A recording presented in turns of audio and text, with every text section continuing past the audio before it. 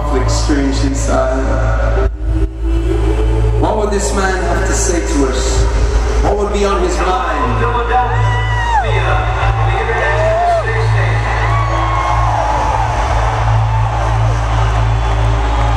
What would he have to share with us, this American hero, Commander Mark Kelly of the International Space Station?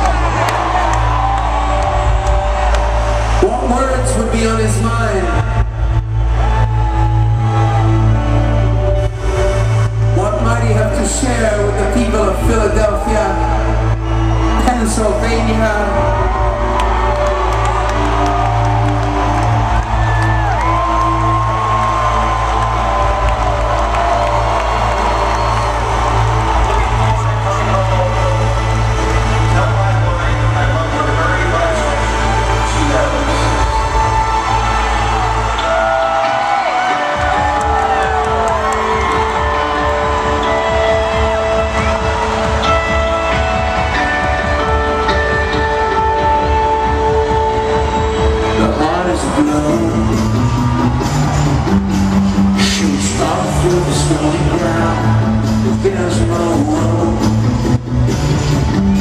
No space to ramp in this town.